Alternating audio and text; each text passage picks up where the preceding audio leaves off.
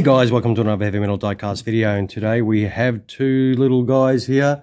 These are two armoured cars.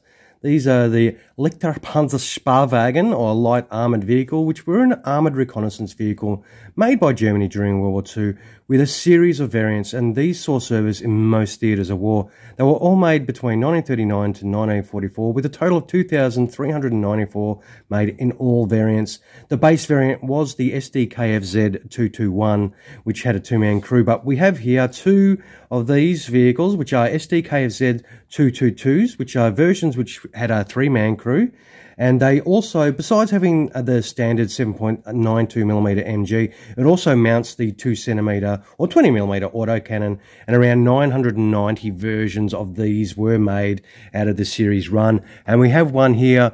This one is from Eaglemoss. It is from the um, 20th Panzer Division, as it says on the base there, um, during, on the Eastern Front. And here we have one from Atlas. Uh, this is from early on in the war. It's all just in the standard uh, grey. And um, what we'll do is uh, we'll get these open. These are 143rd scale. And um, they are all die cast. And what we'll do is we'll open these up. We will check out the Atlas one first. And um, we will open this up straight away. So here it is out of the uh, box.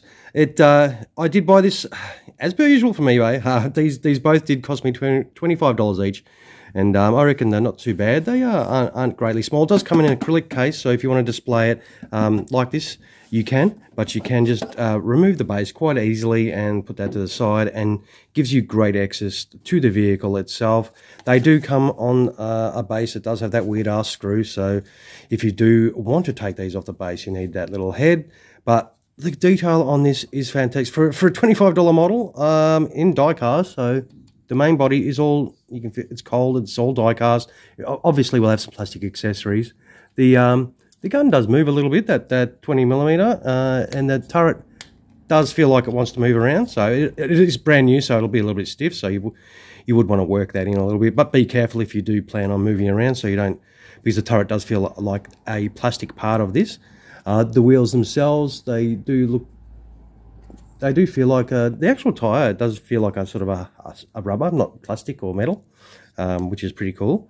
Uh, the detail does have all of their marked uh, markings and everything like that, and the uh, unit markings as well, uh, which because it doesn't have it written on the base, you can just do a quick search on that unit marking and find out who that is.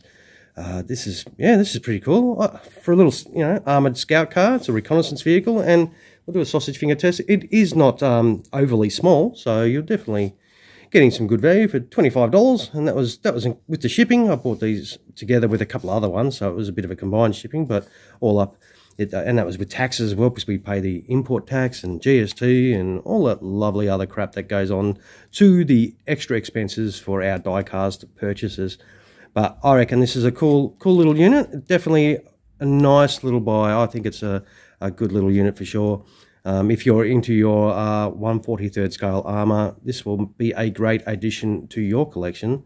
And it, it, has some really good details, as you can see. But what we'll do is we will uh, zip this guy off and have a look at the Eaglemoss version.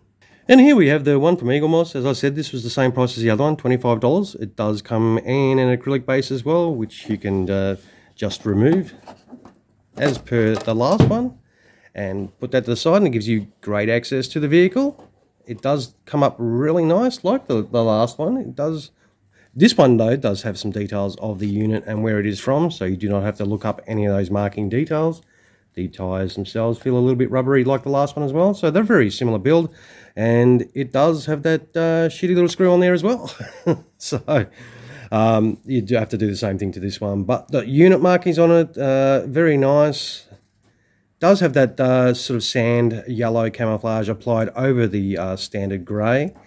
And uh, I think it does come up that fire extinguisher is quite bright, which uh, really nullifies that camouflage. so, But um, I think uh, for a scout car, you reckon that would not be bright red. But hey, I reckon this is still pretty cool. Um, that uh, you know that two centimeter auto cannon you can see there. It's got some barrel uh, detail as well. Like it's you know not just flat. It's got a hole indentation to make it look like it's hollow, and it looks pretty cool. We'll see. Yeah, that, look, it moves. It's got oh, even the mesh. The same with the last one has a little bit of a mesh. These hatches on the real thing do open. Um, obviously not on these, but it's the same deal. It is, uh, you know, 143rd scale. It's not tiny, but it's not, it's not as big as a Tiger, that's for sure. But uh, I reckon it's still pretty cool. And um, I reckon both these vehicles are definitely um, ones to get. I think they are pretty cool. And uh, for the price, you know, $25 on uh, eBay, they are pretty good value for sure. And as I said, they both have got the tyres that do have, sort of have a rubber feel to them, and they look like they can rotate as well. And the turrets do rotate and everything like that, so you can display them with sort of a bit of an angled turret or anything like that. But overall, I think these are both pretty cool. So what we'll do is we'll get the uh, first one back. We'll put them both down here. And I, I think, yeah, definitely they are nice looking units for sure. So once again, these, this one is by Atlas and this one is by Eaglemoss. Um, they are both 143rd scale. They're both um, SDKFZ 222s or triple twos. Um, they are the uh, reconnaissance vehicle that were mounted with the uh, 20 millimeter or 2 centimeter auto cannons. And uh, from these are both from the obviously the German army, the Wehrmacht. And uh, I reckon they're cool, cool looking units for sure. Alright guys, if you did enjoy the video, throw us a little like, that'd be awesome. And if you have yet to subscribe to our channel, please feel free to do so. I appreciate everyone that does.